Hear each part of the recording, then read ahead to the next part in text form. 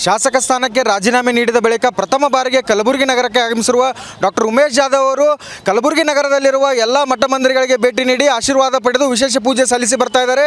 ಈಗ ನಾಳೆ ಏನು ಪ್ರಧಾನಿ ಮೋದಿ ನೇತೃತ್ವದಲ್ಲಿ ಬೃಹತ್ ಸಮಾವೇಶ ನಡೆಯಲಿದೆ.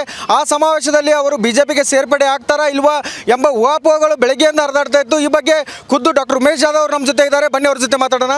ಸರ್, ಈಗ ನೀವು ಬೆಳಗ್ಗೆ ಬಂದಿದ್ರಿ, ಬೆಡಸೂರು ತಾಂಡಾಗ ಬಂದಿದ್ರಿ. ಅವಾಗಿಂದ ಸಹ ನೀವು ಸ್ಪಷ್ಟ ನಿರ್ಧಾರವನ್ನು ತಿಳಿಸಿರಲಿಲ್ಲ. ನಾಳೆ ಬಿಜೆಪಿ ಸ ಏನು ಸಮಾವೇಶ ನಡೀತಾ ಇದೆ. ಪ್ರಧಾನಿ ಮೋದಿ ನೇತೃತ್ವದಲ್ಲಿ ಬಿ ಜೆ ಪಿ ಸೇರ್ಪಡೆ ಆಗ್ತೀರಾ ಇಲ್ವಾ? ನಾ ಬೆಂಗಳೂರು ರಾಜೀನಾಮೆ ಕೊಟ್ಟು ನಮ್ಮ ಊರಿಗೆ ಬೆಳಸೂರಿಗೆ ಬಂದು ಶಿವರಾತ್ರಿ ಕಾರ್ಯಕ್ರಮ ಅಟೆಂಡ್ ಮಾಡಿ, ಖಾಜಾ ಬಂದೆ ನವಾಜ್ ರೇವಣಸಿ ನಮ್ಮ ರೇವಣ ಸಿದ್ದೇಶ್ವರ ಗುಡಿ ಶರಣಬಸಪ್ಪ ಮತ್ತು ನಮ್ಮ ಇಲ್ಲಿ ಸಿದ್ಧಿ ಭಾಷಾ ಚರ್ಚ್ ಕ್ವಾರಂಟೈನ್ ಹನುಮನ್ ದೇವ್ರ, ಸಾಯಿ ಮಂದಿರ, ರಾಮ ಮಂದಿರ ಬಲ್ಲಿ ಇದ್ದೀವಿ ಈಗ. ಎಲ್ಲ ದೇವ್ರ ದರ್ಶನ ತೊಗೊಂಡು ಎಲ್ಲರ ಜೊತೆ ಮಾತಾಡಿ, ನಾಳೆ ಬೆಳಿಗ್ಗೆ ಕಾರ್ಯಕ್ರಮದಲ್ಲಿ ನಾನು ಶಾಮೀಲಾಗ್ತಾ ಇದ್ದೀನಿ. ನಾಳೆ ನೀವು ಪ್ರಧಾನಿ ಮೋದಿ ನೇತೃತ್ವದಲ್ಲಿ ಬಿಜೆಪಿ ಜೆ ಪಿ ಸೇರ್ಪಡೆ ಆಗ್ತಾ ಇದ್ದೀರಾ ಹಾಗೆ? ನಾಳೆ ಅವ್ರ ವೇದಿಕೆ ಮೇಲೆ ಅವ್ರ ಜೊತೆ ಕೂಡ್ತೀನಿ ನಾನು. ಅಂದರೆ ಈ ಮೂಲಕ ನೀವು ಏನು ನಿಮ್ಮ ರಾಜಕೀಯ ಧರ್ಮ ಗುರು ಅಂತ ಇದ್ರಿ ರಾಜಕೀಯ ಗುರು ಅಂತ ಇದ್ರಿ ಡಾಕ್ಟರ್ ಧರ್ಮ್ ಸಿಂಗ್ ಅವರು ಹೇಳಿದ ಹಾಗೆ ನೀವು ರಿಸ್ಕ್ ತೊಗೊಳಕ್ಕೆ ರೆಡಿ ಆಗಿದ್ದೀರಿ ಈಗ. ಧರ್ಮ್ ಸಿಂಗ್ ಅವರು ಹೇಳಿದ ಪ್ರಿನ್ಸಿಪಲ್ ಮೇಲೇ ನಾನು ಇವತ್ತು ರಿಸ್ಕ್ ತೊಗೊಂಡು.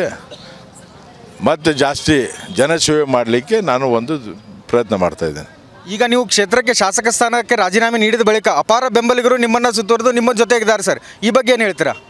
ಭಾಳ ಸಂತೋಷ ತರ್ತದೆ. ಭಾಳ ಶಕ್ತಿ ಭಾಳ ಹುಮ್ಮಸ್ ಬರ್ತದೆ ಭಾಳ ಜೋಶ್ ಬರ್ತದೆ. ಅವ್ರಿಗಿಂತ ಜಾಸ್ತಿ ಕೆಲಸ ಮಾಡ್ಬೇಕಂತ ಆಸೆ ಅದ ನಮಗೆ. ಎಲ್ಲೋ ಜಿಲ್ಲಾ ಉಸ್ತುವಾರಿ ಸಚಿವರು ಏನು ಹೇಳ್ತಾರೆ? ಆಪರೇಷನ್ ಕಮಲಕ್ಕೆ ಮೊದಲ ಬಲಿಪಶು ಆದರು ಡಾಕ್ಟರ್ ಉಮೇಶ್ ಜಾಧವ್ ಅವರು ಅಂತ ಹೇಳ್ತಾರೆ. ಸರ್ಜನ್ ಆಪ್ರೇಷನ್ ಮಾಡೋರು ಇರ್ತಾರೆ ನಮ್ಮ ಸರ್ ಆಪ್ರೇಷನ್ ಬಲಿ ಆಗಲ್ಲ. ಈಗ ಶಾಮನೂರು ಶಿವಶಂಕರಪ್ಪನವರು ಒಂದು ಮಾತು ಹೇಳಿದರು, ಏನು ಅವರು ಬಿ ಜೆ ಮೊದಲೇ ಸೇಲ್ ಆಗಿದ್ರು, ಹೀಗಾಗಿ ಅವರು ಪಕ್ಷ ತೊರೆದಿದ್ದಾರೆ ಅಂತ ಶಾಮನೂರು ಶಿವಶಂಕರಪ್ಪನವ್ರು ಹೇಳ್ತಾರೆ. ಶಾಮನೂರು ಶಿವಶಂಕರ್ ಅವರಿಗೆ ವಯಸ್ಸಾಗ್ಯದ. ದೊಡ್ಡವರ ಮರ್ಯಾದೆ ಕೊಡ್ತೀವಿ. ಕೆಲವೊಮ್ಮೆ ಏನೋ ಹೇಳಿಬಿಡ್ತಾರೆ, ಹೆಂಗೆ ಯಾರು ನನಗೆ ಗೊತ್ತಿಲ್ಲ. ಅವ್ರ ಬಗ್ಗೆ ಗೌರವ ಅದ ಅವರು ಒಬ್ಬ ಮುತ್ಸದಿ ವ್ಯಕ್ತಿ ಹಂಗೆ ಮಾತಾಡಬಾರ್ದಿತ್ತು ಅವ್ರ ಬಗ್ಗೆ ನಾನು ಏನು ಹೇಳಲ್ಲ ಅವ್ರು ಹೇಳೋದು ತಪ್ಪದ ಅಂತ ಹೇಳ್ತೇನೆ ಅಷ್ಟೇ. ಈಗ ಸತತವಾಗಿ ಹನ್ನೊಂದು ಬಾರಿ ಗೆಲುವು ಸಾಧಿಸಿರುವಂಥ ಮಲ್ಲಿಕಾರ್ಜುನ್ ಖರ್ಗೆ ಅವರು ಏನಿದ್ದಾರೆ ಸೋಲಿಲ್ಲದ ಸರ್ದಾರ್ ಅಂತ ಹೇಳ್ತಾ ಇದ್ದಾರೆ ಅವರು ಮೊನ್ನೆ ಸೇಡಂನಲ್ಲಿ ನಡೆದ ಸಮಾವೇಶದಲ್ಲಿ ಹನ್ನೊಂದು ಆಯಿತು ಇನ್ನೊಂದು ಹನ್ನೆರಡಕ್ಕೆ ಮುಗೀತು ಅಂತ ಹೇಳಿದ್ದಾರೆ. ಈ ಮೂಲಕ ಪರೋಕ್ಷವಾಗಿ ಇದು ನನ್ನ ಕೊನೆಯ ಚುನಾವಣೆ ಅಂತ ಹೇಳಿದ್ದಾರೆ. ಈ ಬಗ್ಗೆ ಏನು ಹೇಳ್ತೀರಾ? ಪ್ರಜಾಪ್ರಭುತ್ವದಾಗ ಪ್ರಜಾಪ್ರಭುತ್ವ ಎಲ್ಲರಿಗೂ ಅವಕಾಶ ಇರ್ತದೆ. ಕೊನೆ ಚುನಾವಣೆ ಅವ್ರದ್ದು ಆಗ್ತದೋ ಇಲ್ಲೋ ಗೊತ್ತಿಲ್ಲ. ನಮ್ಮದು ನಾಲ್ಕನೇ ಮೂರನೇ ಚುನಾವಣೆ ಆಗ್ತದೆ ನಾವು ಮೂರನೇ ಚುನಾವಣೆ ನಿಂದ್ರವರಿದ್ದೀವಿ ನಾವು ಈ ಮೂಲಕ ನೀವು ಈಗ ಕಲಬುರಗಿ ಲೋಕಸಭಾ ಕ್ಷೇತ್ರಕ್ಕೆ ನಿಂತು ಒಂದು ವೇಳೆ ಜಯ ಸಾಧಿಸಿ ಬಂದರೆ ನಿಮ್ಮ ಮುಂದಿನ ಗುರಿ ಏನು ಸರ್? ಮುಂದಿನ ಗುರಿ ಅಭಿವೃದ್ಧಿ ಮಾಡಿ ತೋರಿಸ್ತೀವಿ ನಾವು. ಅಭಿವೃದ್ಧಿ ಯುವಕರಿಗೆ ನಾವು ದೊಡ್ಡ ದೊಡ್ಡ ಕನಸದ ಅದು ನನಸು ಮಾಡಲಿಕ್ಕೆ ಪ್ರಯತ್ನ ಮಾಡ್ತೀವಿ. ಮತ್ತು ಎಲ್ಲರಿಗೆ ಪ್ರತಿಯೊಬ್ಬರಿಗೆ ಜೊತೆಗೆ ತೊಗೊಂಡು ಹೋಗೋ ಪ್ರಯತ್ನ ಮಾಡ್ತೀನಿ ನಾನು. ಈಗ ಬಿ ಜೆ ಪಿ ಸೇರ್ಪಡೆ ಆಗಲಿಕ್ಕೆ ಪ್ರಮುಖ ಕಾರಣ ನಿಮ್ಮ ಪ್ರಕಾರ ಏನು ಸರ್? ನಮ್ಮ ನಾವು ನಮ್ಮ ಪ್ರಕಾರ ನಿರ್ಣಯ ತಗೊಳ್ಲಿಕ್ಕೆ ಬರಲ್ಲ. ಜನರ ಪ್ರಕಾರ ಜನರು ಏನಂತಾರೆ ಇಲ್ಲಿ ಬಂದು ಕೆಲಸ ಮಾಡಿದ್ರೆ ಚಲೋ ಆಗ್ತಂತ ಜನರ ಮಾತು ಕೇಳಿ ನಾನು ಬರ್ಲಿಕ್ಕತ್ತೀನಿ ನಾನು. ಈಗ ನೀವು ಅಂದರೆ ಈಗ ನಾ ಈಗ ಏನು ಕಲಬುರಗಿ ಲೋಕಸಭಾ ಕ್ಷೇತ್ರದಲ್ಲಿ ಕಲಬುರಗಿ ಹೆಮ್ಮೆ ಕರ್ಗೆ ಮತ್ತೊಮ್ಮೆ ಎಂಬ ಘೋಷವಾಕ್ಯದಡಿ ಅವರು ಪ್ರಚಾರ ಮಾಡ್ತಾ ಇದ್ದಾರೆ. ನಿಮ್ಮ ಪ್ರಚಾರ ವೈಖರಿ ಹೇಗಿರುತ್ತೆ ಸರ್? ನಮ್ಮ ಪ್ರಚಾರ ಒಬ್ಬ ಸಾಮಾನ್ಯ ನಾಯಕ ಗ್ರಾಸ್ ರೂಟ್ ಗ್ರೌಂಡಲ್ಲಿರೋ ನಾಯಕ ಜನರ ಜೊತೆ ಇರುವವರು ಜನರ ಹೆಗಲ್ ಮೇಲೆ ಹೆಗಲ್ ಕೈ ಹಾಕಿ ಜೊತೆಗಿರೋರು ಅವ್ರ ಜೊತೆ ಊಟ ಮಾಡೋರು ಅವ್ರ ಸಮಸ್ಯೆಗಳಿಗೆ ಇಪ್ಪತ್ನಾಲ್ಕು ತಾಸು ಸ್ಪಂದನೆ ಮಾಡೋರು ನಮಗೊಂದು ಅವಕಾಶ ಕೊಡ್ರಿ ಅಂತ ಹೇಳ್ತೀವಿ ಅಷ್ಟೇ. ಸರ್ ಈಗ ಬಿ ಜೆ ಪಿಯಲ್ಲಿರುವ ಬಂಜಾರ ಸಮುದಾಯದ ನಾಯಕರಲ್ಲಿ ಒಂಚೂರು ಒಂಚೂರು ಅಸಮಾಧಾನದ ಇತ್ತು. ಆ ಅಸಮಾಧಾನ ನೀವು ತನ್ನಗೆ ಮಾಡುವ ನಿಟ್ಟಿನಲ್ಲಿ ಯಾವುದಾದ್ರೂ ಕ್ರಮ ಕೈಗೊಳ್ತೀರಾ? ಅದು ನಾನು ಅದ್ರ ಬಗ್ಗೆ ನನಗೆ ಗೊತ್ತಿಲ್ಲ. ನಾವು ವಿನಂತಿ ಮಾಡ್ತೀವಿ. ಅಸಮಾಧಾನ ಆಗಬೇಡ್ರಿ ಎಲ್ಲರೂ ಕಲ್ತು ಕೆಲಸ ಮಾಡೋಣ ಅಂಥೇಳಿ ನಾವು ವಿನಂತಿ ಮಾಡ್ತೀವಿ. ಈಗ ಸುನೀಲ್ ವಲ್ಯಾಪುರಿ ಅವರು ನಿಮ್ಮನ್ನು ಸ್ವಾಗತ ಮಾಡಿದ್ದಾರೆ. ಮುಂದಿನ ಏನು ಚಿಂಚೋಳಿ ಉಪಚುನಾವಣೆ ಬರುತ್ತೆ ಅವಾಗ ನಾನು ಅಭ್ಯರ್ಥಿ ಮಾಡ್ತಾರೆ ಅಂತ ವಿಶ್ವಾಸ ವ್ಯಕ್ತಪಡಿಸ್ತಾರೆ ಅವರು.